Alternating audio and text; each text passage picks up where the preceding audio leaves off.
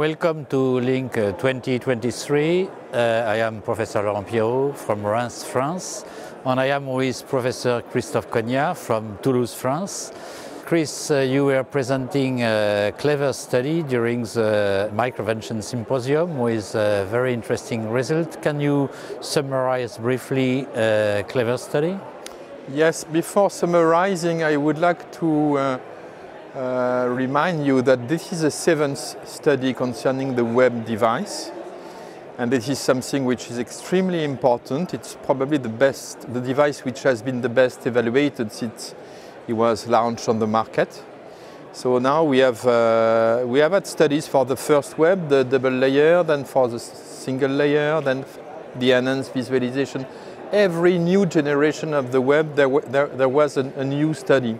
And this is something which is really remarkable, and there are some uh, devices which are put on the market with no evaluation at all. And this is for me very uh, regrettable. So this new study from uh, Microvention about the web concerns only the web 17, so with a, a lower catheter, a lower profile catheter of 17 uh, inch.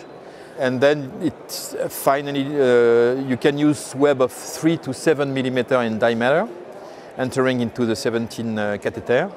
Uh, in this clever study, there were uh, ruptured and unruptured aneurysm, 60 uh, ruptured, 100 unruptured, and what I was presenting in that LINNC, uh, 2023, are, are the result at one year of safety and the efficacy very interesting design, singularly because you have both uh, ruptured and unruptured aneurysm. So what are the results in terms of safety in Clever in both groups and is singularly for it is showing the same result as CLARYS, which is the benefit of web in terms of prevention of rebleeding.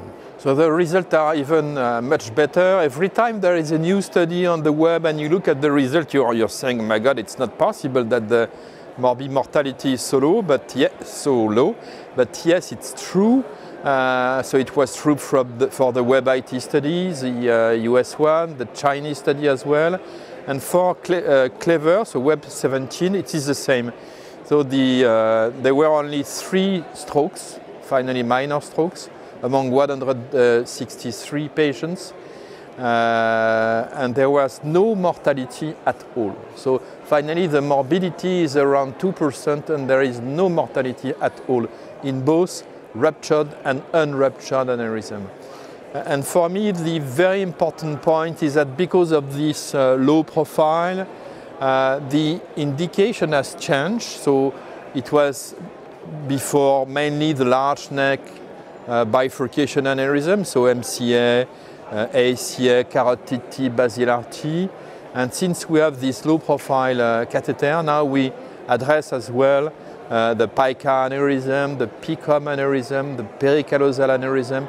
So there is a wide range of location in which today people don't hesitate to use the, the web because the web 17 is much easier to place and despite the angle, for example, when you have a PCOM, there is an acute angle from, uh, of the aneurysm compared to the direction of the artery.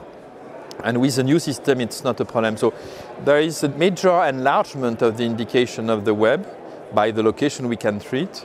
And the other point is as well that people don't hesitate to treat anymore uh, ruptured aneurysm.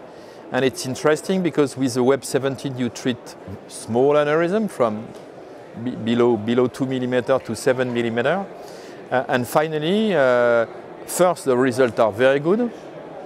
In terms of morbid mortality, it's similar to the one of un unruptured aneurysm protection against rebleed is perfect.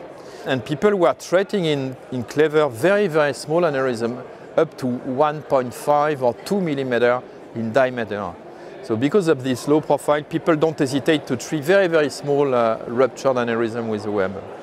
And what are the results in terms of uh, efficacy? Uh, efficacy is uh, similar in both group, ruptured and ruptured? So the or? efficacy is similar in both group. It's uh, higher in ruptured aneurysm. For indeed, it's not uh, st statistically significant, uh, but it's higher in the ruptured group. It's 82% complete uh, occlusion, which is very high.